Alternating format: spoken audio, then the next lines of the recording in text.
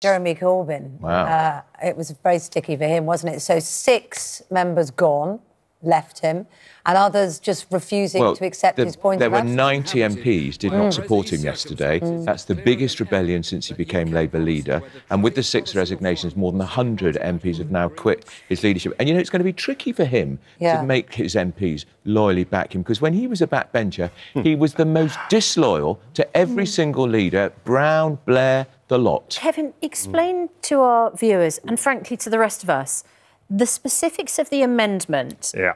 Uh, Corbyn, Jeremy Corbyn wanted his front bench to abstain right. from this amendment, but actually it's a point of principle over the single market It is. and freedom of movement. yeah, it was. So why did he get them to abstain rather than direct them how to vote? Because that would have made it clear. Yeah, he it? wanted them to abstain because he has his own idea of trying to get very close to the single market, and he wanted Labour MPs to back his idea with Keir Starmer, the shadow Brexit secretary.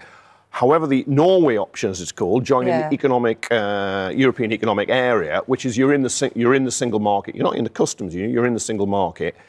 A lot of MPs wanted to back that, so he had 75 of his MPs voting to have the Norway option. Then he had another 15 voting against it, and then he had others who did follow it and abstain. But there's more than a third of his MPs defied his leadership on that. And the six resignations, one was a uh, shadow from Bencher, the other five were parliamentary private secretaries, effectively bag carriers, but they're part of the Labour machine. Is And it partly because people aren't exactly clear um, what Jeremy Corbyn's position is still? Well, so changed- therefore, well, they end up going back Frankly, to voting it- on their own. It changes by the week, and that is not an exaggeration. It changes all the time, and we're not sure what it means. But if that Well, he wants to stay close Yes, he to the single market Yeah. But and, have a customs union. and he wants to but he negotiate on his own doesn't want freedom, total free movement freedom of people. movement. Exactly. Jeremy- And yet those Labour MPs who backed that amendment yesterday, the 75, want to continue with free movement of people because they think the migration is not a problem. It was with voters, and it would be a No, no. betrayal of voters. in Labour, my view. Labour, J- Jeremy Corbyn accepts the end of free movement when we come when we come out within Europe. Mm. But his Okay. position is nearer Theresa May's than he would like to let on. Labour is probably as, as, as clued up on how it would get what it wants as the government, which doesn't know anything. Well, And trying to trying to limit freedom of movement was one of the things presumably David Cameron was trying to And he failed. negotiate with the EU. The EU have said you are not